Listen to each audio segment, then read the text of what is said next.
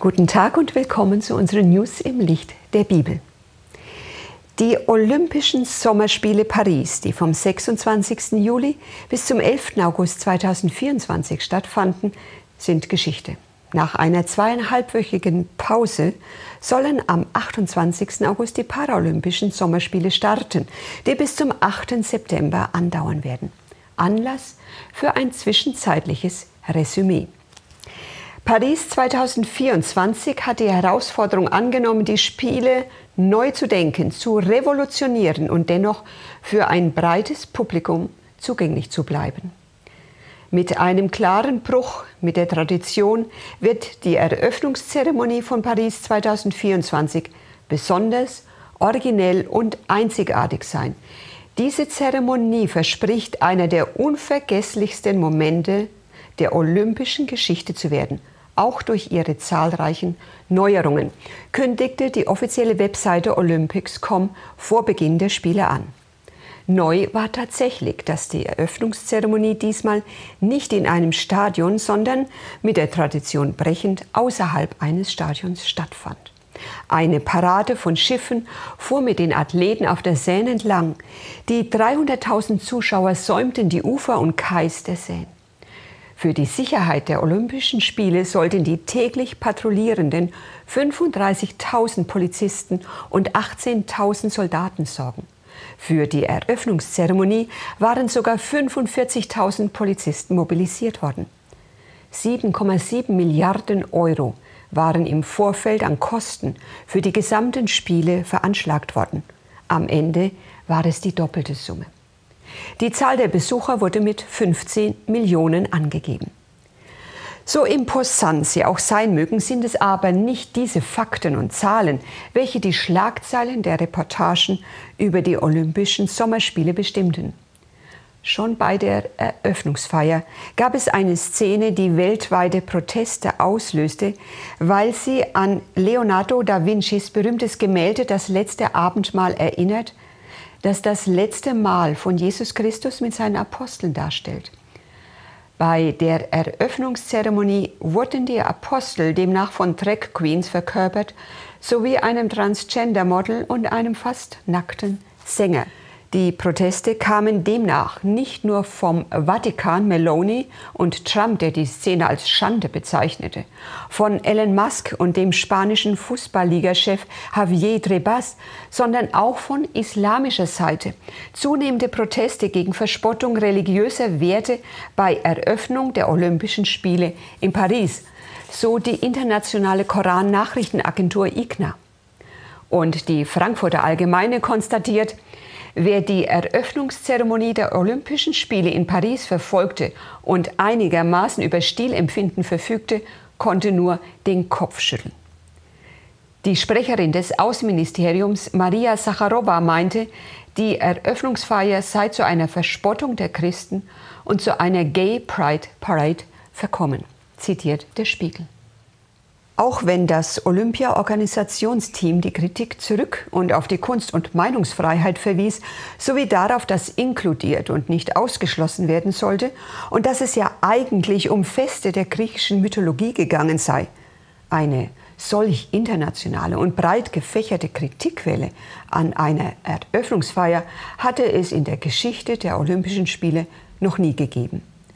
Vom Organisationsteam wurde später behauptet, dass das Vorbild für besagte Szene gar nicht Da Vincis Abendmahl gewesen sei, sondern das Festmahl der Götter des Jan Harmens von Billard von 1635. Allerdings berichtet das Newsportal The Rap von einer ihnen zugespielten Erklärung der Produzenten von Paris 2024, dass die Szene tatsächlich von Da Vincis berühmtem Gemälde inspiriert sei. Eine Verdrehung der religiösen Symbolik, die von der christlichen Rechten als Verhöhnung von Jesus Christus angeprangert wurde. Irrt euch nicht, Gott lässt sich nicht spotten, denn was der Mensch sät, das wird er auch ernten, konstatiert Paulus in Galater 6, Vers 7. Diese bittere Erfahrung musste Frankreich in der Vergangenheit bereits machen. In dem Bestseller Vom Schatten zum Licht, einem geschichtlichen Abriss der Zeit nach der Zerstörung Jerusalems, wird dieses Szenario ausführlich beschrieben. Als Land, welches die Reformation ablehnte, öffnete es damals dem Atheismus Tor und Tür. Frankreich ist die einzige Nation der Welt, von der der authentische Bericht vorliegt, dass sie als Nation ihre Hand in offener Empörung gegen den Schöpfer des Weltalls erhoben hat. Frankreich steht in der Weltgeschichte als einziger Staat da, der durch einen Erlass seiner gesetzgebenden Versammlung erklärte, dass es keinen Gott gebe. Frankreich zeigt auch die Merkmale, die für Sodom besonders charakteristisch waren. Während der Revolution hatte die Moral im Land einen Tiefstand erreicht, der jenem glich, der die Zerstörung der Städte in der Jordanebene auslöste. In keinem Land der Welt wurde die Feindschaft gegen Christus auffallender gezeigt. Nirgendwo stieß die Wahrheit auf erbitterteren und grausameren Widerstand. Durch die Verfolgung der Bekenner des Evangeliums in Frankreich wurde Christus in der Person seiner Jünger gekreuzigt. Die Vertreibung der protestantischen Elite der Hugenotten glich einem wirtschaftlichen und moralischen Aderlass, von dem sich das Land nie wieder erholen sollte. Bis heute ist das Land gespalten und von Protesten durchzogen wie kaum ein anderes Land dieser Erde. Dass auch das Wasser der Seine nicht so sauber war, wie es sein sollte, ein führender Wasserprüfer mit seinen Daten ignoriert wurde und folgerichtig mehrere Athleten an E. coli-Bakterien erkrankten, ging unter einem weiteren Skandal fast schon unter. Männer im Frauensport, wo ist die Fairness geblieben? Und das war's dann wohl mit dem Frauensport.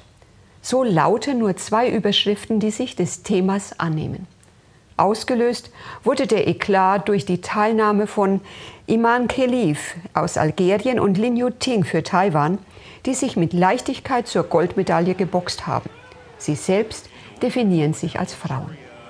Allerdings waren beide Boxerinnen nach bisher nicht näher spezifizierten Geschlechtertests vom Verband IBA von der WM 2023 ausgeschlossen worden. Beide hatten laut IBA die erforderlichen Teilnahmekriterien nicht erfüllt und im Vergleich zu anderen weiblichen Teilnehmern Wettbewerbsvorteile gehabt, berichtet der Standard. Und der Spiegel ergänzt, bei DNA-Tests sei bei beiden Boxerinnen das Y-Geschlechtschromosom festgestellt worden, erklärte damals Uma Kremlev, Präsident der IBA. Frauen werden in der Regel zwei X-Chromosomen zugeschrieben. Trotzdem stiegen Iman Khelif und Lin Yuting bei Olympia 2024 in den Ring. Angeblich wegen Misswirtschaft und Korruption war die IBA schon 2019 vom Internationalen Olympischen Komitee suspendiert worden. Für die Wettbewerbe in Paris ist daher kein Boxverband, sondern eine IOC Taskforce verantwortlich. Sie richtet sich beim Geschlecht der Athletinnen nach dem Reisepass.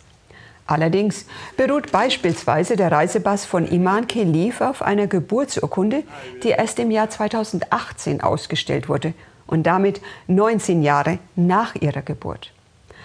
Und das IOC hat sich in Sachen Korruption ebenfalls nicht mit Ruhm bekleckert. Unter der Schlagzeile Inklusion und Fairness schließen einander aus veröffentlicht der Spiegel am 9. August 2024 ein Interview mit dem Sportphysiologen Tommy Lundberg. Dieser sagt, wir lassen keine 10-Jährigen gegen 16-Jährige antreten oder im Boxen ein Schwergewicht gegen ein Leichtgewicht. Das wäre unfair. Und deshalb gibt es auch die Geschlechterkategorien. Und unter dem Titel Schützt endlich den Frauensport kommentiert ebenfalls für den Spiegel Thilo Neumann. Der Verdacht, Kelif und Lin seien biologische Männer und dürften damit nicht in der Frauenkonkurrenz starten. Träfe er zu, so wäre es schlicht Wahnsinn, Kelif und Lin gegen Kontrahentinnen in den Boxring zu schicken. Studien legen nahe, dass die durchschnittliche Schlagkraft von Männern, welche die männliche Pubertät durchlaufen haben, um 162 Prozent höher ist als bei Frauen. Allein aus Sicherheitsgründen ist es also unabdingbar, Männer auszuschließen, um Frauen zu schützen. Niemand, auch nicht der verbohrteste Gender-Aktivist, dürfte das ernsthaft anzweifeln. Solche körperlichen Vorteile dürften nicht wegnegiert werden aus falscher Rücksicht vor identitätspolitischen Befindlichkeiten. Die zunehmende Toleranz und Öffnung für gesellschaftliche Vielfalt habe Grenzen. Der Sport ist zu Recht unterteilt in biologische Frauen und Männer. Nur so ist es uns als Publikum möglich, weibliche Exzellenz im Sport zu erkennen und zu feiern. Die Gender-Debatte überholt sich selbst auf der Innenbahn. Die Frage, ob Geschlechterkategorien auf biologischen Merkmalen beruhen, wird durch den Sport klar bestätigt. Auch im geistlichen Leben gilt es, einen Sieg zu erringen. Wisst ihr nicht, dass die, welche in der Rennbahn laufen, zwar alle laufen, aber nur einer den Preis erlangt? Jene laufen, um einen vergänglichen Siegeskranz zu empfangen, wir aber einen unvergänglichen. So steht es in 1. Korinther 9, 24 und 25. Wahre Inklusion gibt es nur bei Jesus Christus. Da ist weder Jude noch Grieche, da ist weder Knecht noch Freier, da ist weder Mann noch Frau, denn ihr seid alle einer in Christus Jesus. Wenn ihr aber Christus angehört, so seid ihr Abrahams Nachkommen und nach der Verheißung Erben. So steht es im Galater 3, 28 und 29. Im Kampf um die Siegeskrone, die zum Himmelreich berechtigt, gibt es keine Ungerechtigkeit, keine Benachteiligung. Stattdessen gibt es die Unterstützung und das Fürsprechen des Königs der Welt, des Herrn der Heerscharen. Diesen Kampf lohnt es wirklich aufzunehmen, zu kämpfen und zu gewinnen. Gott segne Sie darin reichlich. Danke fürs Zuschauen bei unseren News im Licht der Bibel. Auf Wiedersehen.